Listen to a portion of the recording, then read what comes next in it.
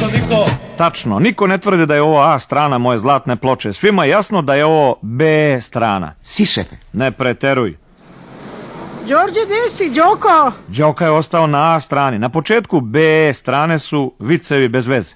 Po sistemu M, il, il, il. Ić, ić, ić, ić, joj, joj, joj, joj, joj. Ujeo jednog Simu morski pas.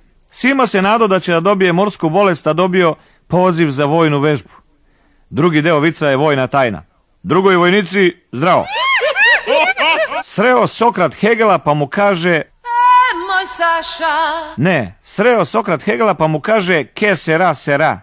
A Hegel će njemu filozofiraj ti to nekom drugom. Sreo rak žabu pa je pita, žabo, žabo, od čega ti boluješ? A ona kaže, ja bolujem od raka. A on kaže, znači boluješ od mene. A ona kaže, jok, bolujem od prošle godine. U parku na klupi sede pas i mačka. Pas laje na mahove, a mačka na playback. Razgovaraju fizička hemija i ladolež. Šta da ti radim kad si RH negativan, reče fizička hemija.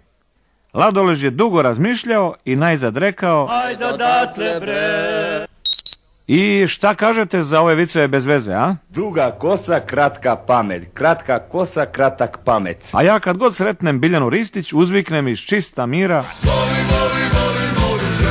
A naročito je volim kad imitira Miljana Miljanića. Zato ovaj, što bih ja mogu da kažem, zašto smo mi izgubili od Atilijana? Zato što jednostavno nismo ustavili kontakt sa svojim igrom, a odmah zatim tu je, ovaj, tu je nestala i ovaj motivacija i patriotizacija i sve ostalo. Ja ne mogu ništa više da kažem. Tako je Biljana Ristić skinula Miljana Miljanića, a dok ga nije skinula, njemu je mnogo lepo stajala Najdraža košulja. I dok vi skandirate plavi, plavi, ja ću malo da zapitkujem Dragana Živkovića Tozovca. Tozo, da li se sećaš onog vremena kad nije postojao žiro račun?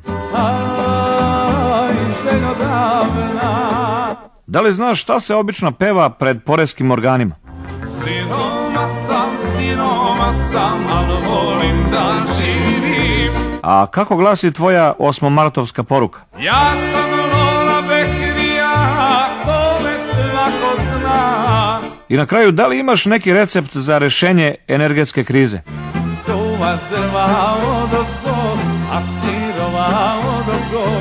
A sad hit decenije. E, Saša, Ako ne budete dobri, opet ću da vam poklonim Sašu, odnosno kompoziciju moj Saša. Ja ću ti presvikom žicu, nemoj se dereš. Ja ću ti presvikom žicu. Pre nego što drug cvika žicu, doktor Mladen Trajkovski mogao bi da priča malo o pecanju. Pecanje je na rekreacijalno sportsko društvo, udruženje sportskih ribolovaca u SFRJ. Svi ljudi kako bi trebalo da se oblače na taj, na taj sportski način.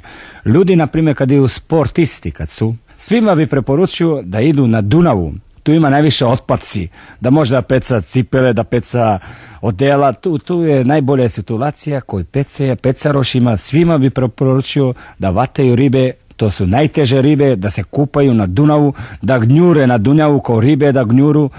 U jednom specijalnom načinu ljudi vole da gnjuru da vataju, ima i to je sport, jedan način sporta, nazivamo ga isto sportski ribolov, gnjurci, to su gnjurci ljudi koji pecaju ribe podvodno.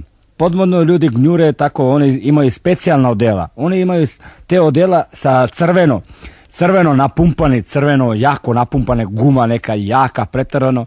Kad ga napumpaš, ono umjesto da ceo se napumpa tako celo, on kad se napumpa, glava mu ode u dubinu, noge gore, recimo kad idu noge dole, glava mu gore visi, tako kao plovak da vide pecaroši, da ga vide, misle da je jedna velika ajkula, to bi tu bio, bio jedan specijalan kraj za spojih prijatelja, sportskih ribolovaca. Ćao, nema više. I šta biste htjeli sad? Dobro, onda dve muzičke numere. Najpre Laboratorija zvuka i njihov hit. Oj curice mila, hajde da od tebe pravim gajde. To je bilo pod jedan, a pod dva drugarica Bo Derek interpretira kompoziciju dve sfrake, tri prepelice i jedna ševa.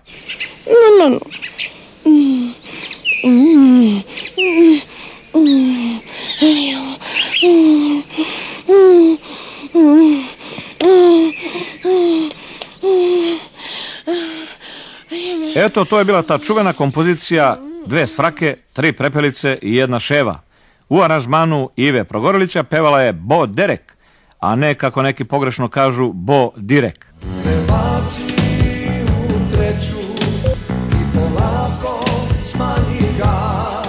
Baš sam to mislio da uradim jer odavno nismo čuli hit. E, moj Saša, e, moj Saša. Ali može sad da padne jedna diskusija na temu ko je brži, zec ili kornjača? Si, šefe. Ne preteruj, pusti ljude da pričaju. Znaš li ti kornjača koliko pređe za jedan dan? Znaš li ti kornjača koliko može Čuo pređe za jedan sam, dan? čuo sam da prepliva okean. Da je preplijala okean neka kornjača što su stručnjaci je zabeležili i da je pre, preplijala okean.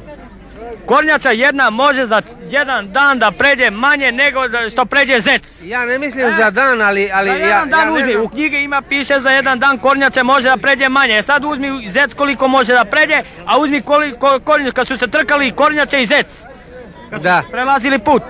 I kad je zec prešao ne znam koliko tamo i kornjača je, posle mnoga kornjača je bila, e, to ja- je moj prije. ja- ja- Kornjača je vrlo ja mislim- najsporija životinja što postoji od živa bića na zemlji. Ja mislim da se ti baviš nekim bajkama. Kor- kornjača, kornjača ne može biti brža od zeca. Zec dok dođe do grma. Da. Da se sakrije, razumiješ me? Ovaj samo zavuče glavu ovamo ispod do noge i onda znači da je bržija kornjača nego zec. Kako, kako? Jer pazi, dok ne zec ide da nađe grm neki da se sakrije, žbunj neki. A kornjača ima na njuma, razumiješ? Samo povuče glavu sebi i nogama, gotovo sakrila se. Kornjača je brža kako ljudi kažu. Ja to nisam čuo. Ja sam to čuo, kod nas pričaju. Zec je u ušima brži. Od kornjača, inače mozgom nikako nije. Kornjača je bržija nego zec. Tu je majstor Šaban Šaulić, majstor za patuljke i za drugaricu koja se zove... Hvala. Tu je još jedan majstor, Kemal Monteno. Gvožđa, akumulatori, kupujemo bakar, mesing, golovo aluminijum, cink, kazane stare od kupatila i od veša kupujemo. Greška. Kemo, a ako nemaš ništa protiv, mogli bismo malo da se igramo asocijacije. Na primjer, ja kažem zimska olimpijada, a ti? Dobro, a kako bi reagovao na pojam futbalski sudija? Ja ti pružam ruke, ja ti dajem cvijet. Da li je tačno da su pre nekoliko dana pojeftinili automobili, struja, mleko, hleb, toalet papir, šećer i benzin?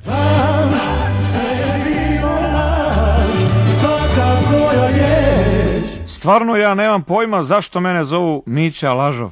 Samo nebo zna A o mačkama sve najbolje. Sa mačkama živim 20 godina, a delim kožu 15 godina. Ne, ja bih nešto ako može o satovima. Satov ima raznovrsne vrste. Ima kukavice, ima imitacija snega, imitacija kiše, imitacija svega i svačega. Pre naše ere satovi ljudi nisu upotrebljavali. Satovi su nisu uopšte ni postojali. Satovi su jedna velika stvarnost za vremena, merenje vremena. Na mesečevom tlo sat ne postoji. Čovjek se je orijentišao pomoću sunca, pomoću kiše, pomoću vetra, pomoću svega i svačega čovjek je znao vremena. Evo kako je čovjek napravio u jednom selu. U jednom selu je čovjek jedan specijalan sat napravio s jednim okruglim predmetom, stavio jednu okrugli pe, okruglom, na okruglom pesku stavio je okrugli predmet i tako se jedno drvo u sredini, tako je čovjek znao kako, koliko ima sati. Nikad te niko neće voljet ko ja A hit? E, Saša. Hvala. Si, šefe. Ne preteruj. Daj da čujemo onu čistu nameštaljku. Razgovaraju dakle, a u stvari uopšte ne razgovaraju, Tereza Kesovija i Boris Bizetić. Fol razgovor. Bože, To će ostati, ja mislim, neprovereno.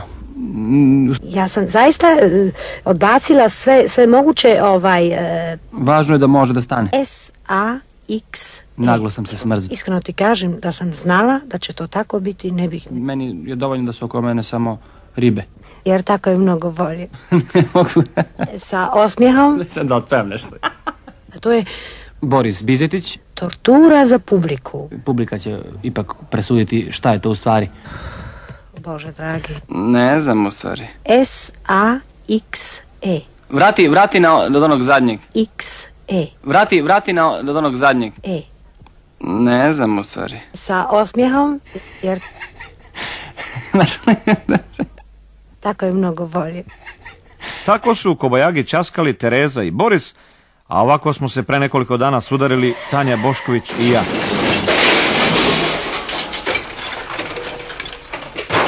A posle sudara pevali smo u duetu Polomljena rebra škripe Ja toliko, ostalo će vam objasniti Cile. E, Pepe, Ako hoćeš da budeš mlad, idi u debeli lad. Da bi duže živeli, kupujte lembrocilin. Lenrocilin. Len, lendrocilion. e, Pepe, Ako nemate pametnija posla, slušajte moja sitna razmišljanja. Kad je direktor Ljudožder, višak radne snage ne postoji. Majmun koji ne pristane da bude čovek, nema izgleda da jednog dana postane robot.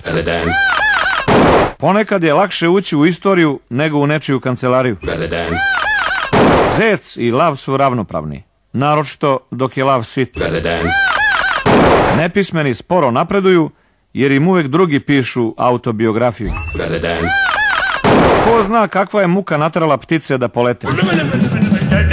I zameno vršimo jučeranje izvlačenje, izvolite. I zameno vršimo jučeranje izvlačenje, izvolite. A glavna premija su Rade Brankov i njegovi pacijenti. Si šefe. Ne preteruj, ništa te nisam pito. Rade Brankov i njegovi pacijenti. Slučaj druže, slučaj druže. O, lepo ti kazao ovo, lepo, dva šta puta mi uzeo iste pare. O, o, dva puta za istu vožnju. Eto kaže šta on, je. je li dobra karta? Kaže, jes. I onda uljuga, što je pustio? Kaže, neolja karta nije za ovi autobus. Ješ, Vadio sam na stanicu Beograd i on kad sam prošao vamo do Čente, onda došao ovaj, a, a pokazao mu kad sam u Beograd uljegu u kartu. I kaže, može. Može, kaže. I sad, evo šta je. Sve mu to bilo. Ne, ne može, druže. Ti si ušao sa kartama autobanata kod Laste. I drugi polazak i drugo sve. Jel vi šta piše na autobusu Lasta? A što je Pa čuješ? To je ja sam mu pokazala primio? karte. Primio karte u moga muža, kaže, dobro je. Što je to kazao? primio? Pa uzo, on? I onda poslije u kontrolu došao, kaže, morate da platite. On je primor. On je. Ne On mora je, to on tako- je to ne primor. možda jednom Ja kažem, evo, kaže, gdje si Šta, kaže? bre? Ili u muža? Čuj ti, Bona, ti to tvom mužu pričaj. Nemo nama pričat koja šta.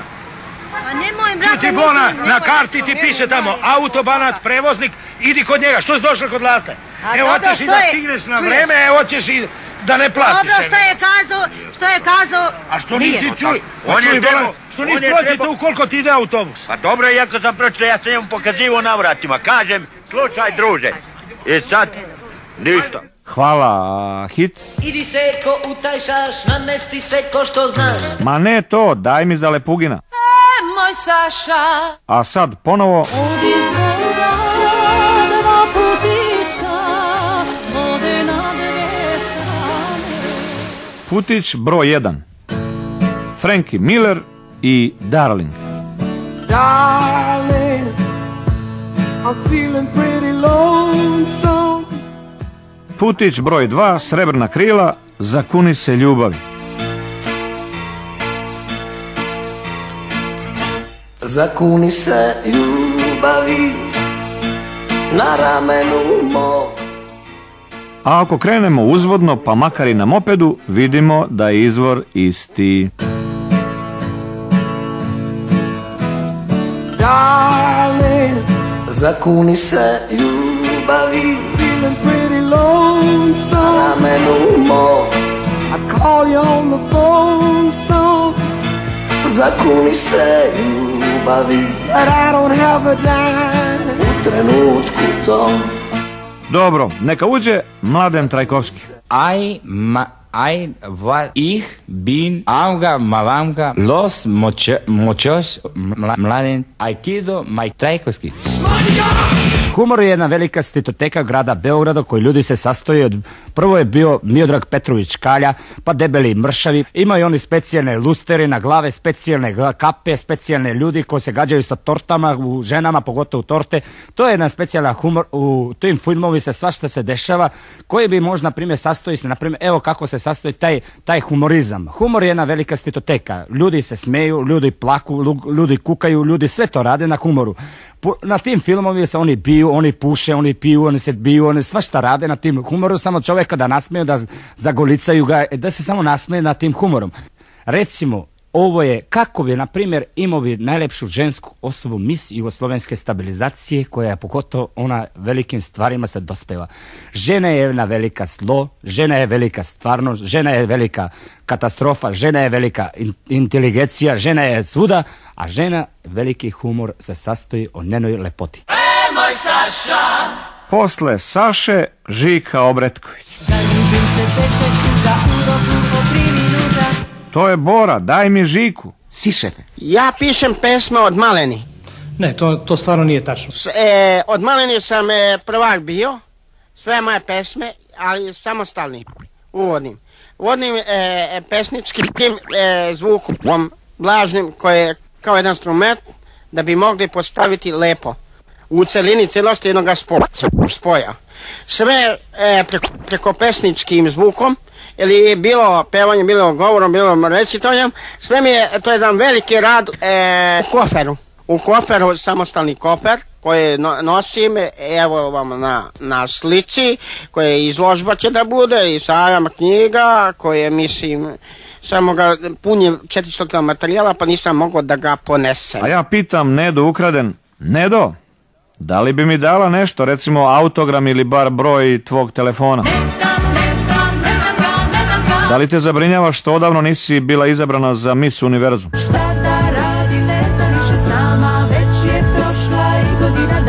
Priča se, zamisli da je Slišković za prelazak u Hajduk dobio milijardu i dve stotine miliona. Da li bi po tim uslovima i ti igrala futbol? Hvala također. I to je u stvari sve. Da bi ova zlatna ploča bila zaista zlatna, mnogo su mi, veoma mnogo pomogli, Mile Pile Miletić i Veljko Žujović.